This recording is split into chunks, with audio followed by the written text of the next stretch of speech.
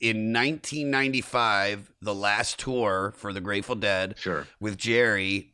Uh, that was, you know, I'm I'm 15 years old and I was really into psychedelics. And somebody said, if you want to go do some LSD, they have the Grateful Dead camp out at Lake Forest Mall in the parking lot.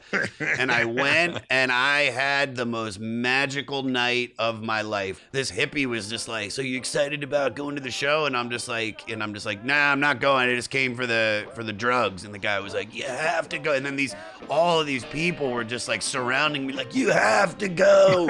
like you have to, man. You can't miss this." And I'm just like, "Ah!" And and on the drugs, it, you know.